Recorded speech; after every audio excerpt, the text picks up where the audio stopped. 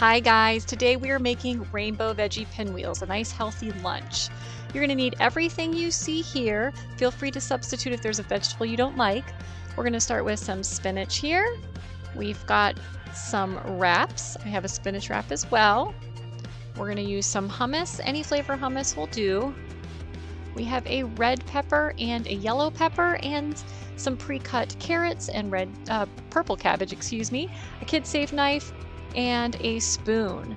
So we're going to take everything that's already prepared off to the side. The first thing we're going to need to do is prepare our peppers. So we're going to go ahead and cut these in the strips. To do that, we're going to cut the top off and then cut the bottom off. Once you cut that bottom off, you're going to go ahead and do a slice right down the side and you're going to cut the insides out of your pepper. That's going to include all those seeds and all of that flesh that's connected to the outside. We're just going to get rid of all the stuff inside there. Kind of slice it all out. If you find you're having any sort of difficulty with getting that out, go ahead and just rip it out. That's completely fine. We're going to take all the insides and we're going to put those either in your compost or in your trash. But those we're going to get rid of. So we have one pepper ready to go. Let's go ahead and get our other pepper ready to go. Do the same thing. You're going to slice off the top and slice off the bottom. Do a slice along the side and then cut along the flesh to get rid of all of that stuff on the inside. This is just the way I like to do it. It makes it easier for slicing strips of peppers. Gonna get rid of that inside stuff. Next thing you have to do is we've got to go clean our peppers and our knife. So we're gonna take those over to the sink and make sure you wash them really thoroughly. Make sure you rinse out all of the seeds on the inside and then bring those on back to our cutting board so that we can continue. The next thing we're to do is just go ahead and slice these into strips.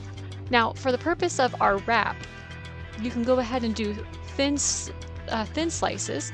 And if you would like to have an additional snack, you can do some bigger, thicker slices that you can dip into hummus and maybe put those on the side. Totally up to you. We've got half of this done. Great job. We're going to do the same thing with this half. Let's go ahead and speed this up a little bit. Just slicing those, putting those off to the side. Now we're going to go ahead and cut these up as well. You don't have to keep these peppers separated. I'm doing that just because we want to make sure that we have our full rainbow in view. I think it looks really pretty. When we put it all together, you'll see how we get every color included into our wrap. So next thing we're going to do is we're going to go ahead and grab a plate, push our peppers to the side.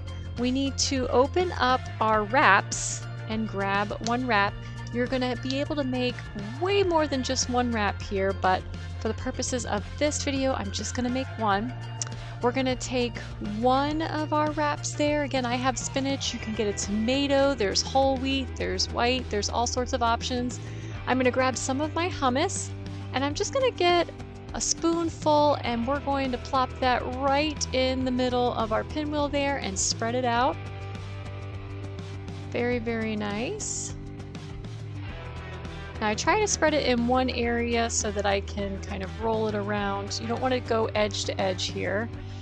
Then we're going to go ahead and grab some of our delicious spinach leaves. And these have already been triple washed, ready to eat. Just so you know, if it's not thoroughly washed, go ahead and rinse those off. Make sure you dry them.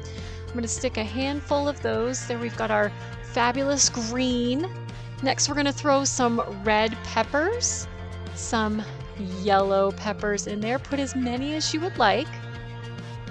Next up, we're going to grab our fabulous carrots. Got our orange.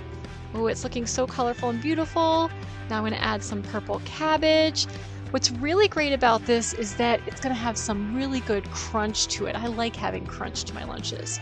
All right, then you're going to kind of squeeze everything together as you roll your wrap just nice and tight. You might get a little dirty. That's okay. We'll wipe our hands and clean them after.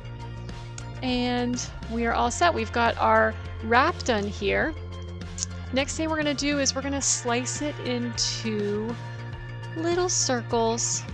And don't worry if those end ones fall apart. Those are just good for snacking.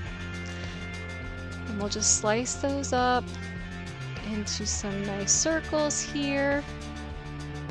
And we'll make them all pretty on our plate to present.